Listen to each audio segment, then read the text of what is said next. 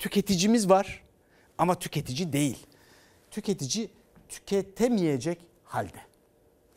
Aylık geliriniz 13 bin liranın altında mı? O üçte biri daha daha aşağıda dörtte biri. Yoksulluk sınırının altındasınız. Çok. Yeterli ve dengeli beslenebiliyor musunuz? Hayır. Sorma ya. Bu kuyruk gösteriyor. Kira, fatura. Faturalar çok yüksek. 10 liradan aşağı bir meyve yok. Sebzeler uçmuş zaten almıyoruz da ben 60 küsür yaşındayım en zor yıl.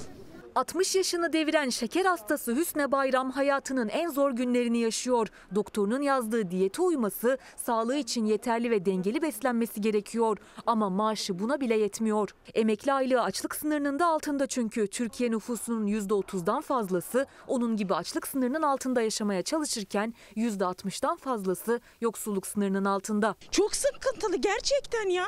Gerçekten hiçbir şey alamıyoruz. Gerçekten bak. Çocuk akşam acıkmış.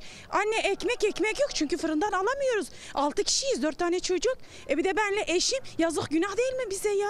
Mesela et alamıyoruz biz. Kıyma alıyor musun? Alamıyoruz. Artık onları onlardan vazgeçtik yani. Önceden maaşını ay sonuna kadar elinde tutabilmek için hesap yaparken emekli ve asgari ücretli artık sadece kira ve faturaları ödeyince elinde avucunda pek bir şey kalmıyor. Tüketici Hakları Derneği TÜİK'in yıllık hane halkı kullanılabilir gelir dağılımı istatistikleriyle Türk İş'in açlık ve yoksulluk rakamlarını karşılaştırdı. 2021 yılı Türkiye nüfusunun %90'dan fazlasının aç ve yoksul olduğu ortaya çıktı. toplumun yüzde doksandan fazlasını çaresiz, aç ve yoksul bırakan, perişan eden ekonomik ve sosyal politikaların açlık ve yoksulluk yaşayanların lehine ivedilikle değiştirilmelidir. Devletin devreye girmesi lazım. Üç liraya ekmeği alacak, yiyecek, karnımızı doyuracak, et yiyecek. Sen onu hayalinde gör daha. Her şeyi televizyonda görürük. Et, ekmek, para. Mutfağa girmiyor mu?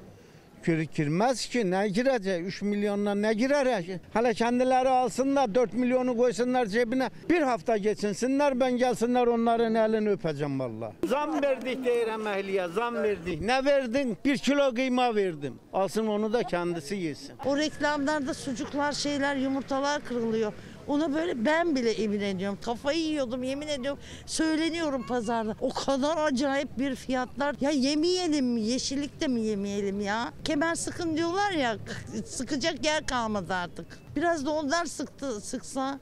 Göbekler o biçim gidiyor onlarda. Onlar sıksa bak ne güzel olurlar, yakışıklı olurlar. Bir adet bezi 1 liraya getirirken şimdi 2,5 liranın altında bebek bezi yok. Günde de ortalama 4-5 bez değiştirdiğimizi sayarsak o sadece tek başına bir askeri ücret ortalamasını yakalıyor. Ne bir bebeğin mamasına ve bezine yetiyor maaş ne de bir üniversite öğrencisinin okul masrafını karşılamaya. Oğluma çok üzülüyorum. Oğlumun kulak cihazı istedi hocaları. Alamadım. 350 dediler alamadım. Anne dedi beyaz bir mont alsana dedi. Alamadım. Kıyafet falan almak artık çok büyük bir lüks gerçekten. 700-800 lirayla doğalgaz parası ödüyoruz ama de ki ısınıyor musunuz? İnan ısınmıyoruz. Bizi bin pişman ettiler onlara oy verdiğimize.